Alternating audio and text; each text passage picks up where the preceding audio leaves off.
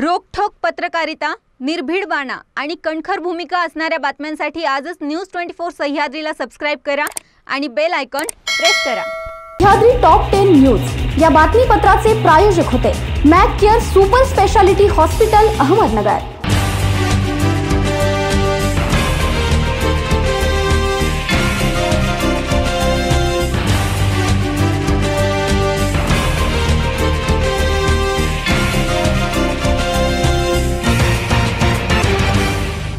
नमस्कार मी प्रियंका. आपण पाहताय न्यूज ट्वेंटी फोर सह्याद्री. पाहुयात अहमदनगर जिल्ह्यातील काही महत्त्वपूर्ण घडामोडी सह्याद्री टॉप टेन न्यूजमध्ये.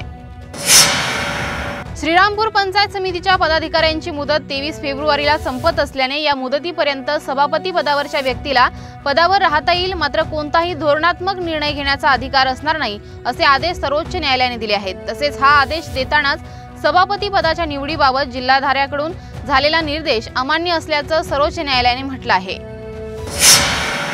निवडणूक शाखेच्या वतीने पंचवीस जानेवारीला राष्ट्रीय मतदार दिन साजरा केला जाणार आहे. या निमित्ताने राज्यातील पहिल्या स्वीप कक्षाचं उद्घाटन जिल्हाधिकारी डॉक्टर राजेंद्र भोसले यांच्या हस्ते करण्यात येणार असल्याचं उपजिल्हा निवडणूक अधिकारी जितेंद्र पाटील यांनी सांगितलं आहे. यावेळी मतदार जागृतीविषयी जिल्हाधिकारी डॉक्टर भोसले यांचं व्याख्यान आणि विविध कार्यक्रम सोशल मीडियाच्या माध्यमातून प्रसारित केले जाणार आहेत. महाविकास आघाडी सरकारमधील महसूल मंत्री बाळासाहेब थोरात यांनी संगमनेर तालुक्यामध्ये विकास कामांचा वेग कायम ठेवला आहे. त्यांच्या प्रयत्नांमुळे डोंगरी विकास निधीतून संगमनेर तालुक्यातील बोटा आणि पठार भागासाठी अठ्ठावीस लाख रुपयांचा निधी मंजूर झाला असल्याची माहिती जिल्हा परिषदेचे सदस्य आणि गटनेते अजय फटांगरे यांनी दिली आहे. अहमदनगर जिल्ह्यात पालकमंत्री बदल ही केवळ चर्चाच सुरू आहे. या चर्चा खऱ्याच असतात असं काही नाही. नगर जिल्हा सर्वाधिक मोठा आणि जागरूक जिल्हा आहे. महाविकास आघाडी सरकार स्थापन झाल्यापासून राज्याचे ग्रामविकास मंत्री हसन मुश्रीफ पालकमंत्री म्हणून महत्वाची जबाबदारी पार पाडत आहेत. जिल्ह्याच्या विकास कामातील त्यांची भूमिका चांगली असल्याचं सांगत आमदार रोहित पवार यांनी मुश्रीफ हेच पालकमंत्रीपदी योग्य असल्याचं एक प्रकारे नमूद केलंय. शिर्डी शहरातील साई कॉम्प्लेक्स पालखी मार्ग साई मंदिर परिसर आणि शासकीय जागेवरील फुटपाथ आणि हात विक्रेते यांच्यावर शिर्डी नगर पंचायतच्या माध्यमातून अतिक्रमण मोहीम अंतर्गत धडक कारवाई करण्यात येत आहे. यामध्ये गोरगरिबांचं मोठ्या प्रमाणात नुकसान होत आहे तर मोठे दुकानदार यांना यातून अभय मिळत असल्याचं या हात विक्रेत्यांनी सांगितलं आहे. या मोहिमेचं काही नागरिकांकडून स्वागत केलं जात आहे तर काहींमध्ये नाराजीचा सूर व्यक्त करीत चोर सोडून संन्याशाला फाशी अशी भावना व्यक्त करण्यात आली आहे. सह्याद्री टॉप टेन न्यूजमध्ये घेऊयात एक छोटीशी विश्रांती.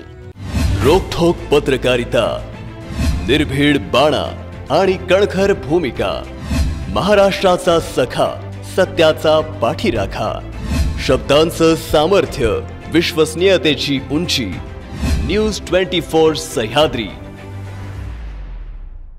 विश्रांतीनंतर आपलं पुन्हा एकदा स्वागत. पाहुयात पुढील बातम्या.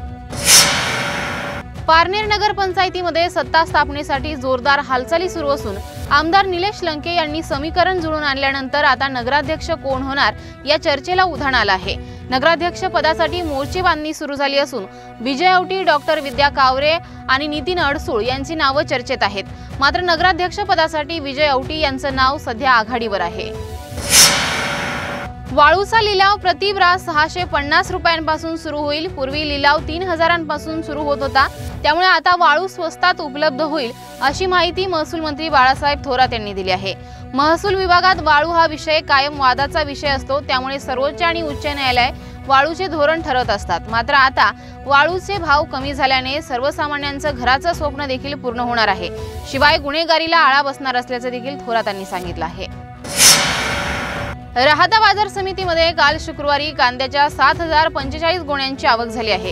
प्रति क्विंटल कांद्याला जास्तीत जास्त बत्तीसशे रुपये इतका भाव मिळाला आहे तर सोयाबीनला जास्तीत जास्त सहा हजार दोनशे बावन्न रुपये इतका भाव मिळाला आहे.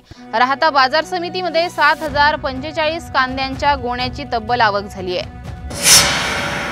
श्रीरामपूर तालुक्यातील वडाळा महादेव येथील निमोनी मळा परिसरातील कसार वस्ती येथील हिराबाई कसार या विवाहितेने घरापासून काही अंतरावर असलेल्या सामायिक विहिरीमध्ये उडी घेऊन आत्महत्या केली आहे.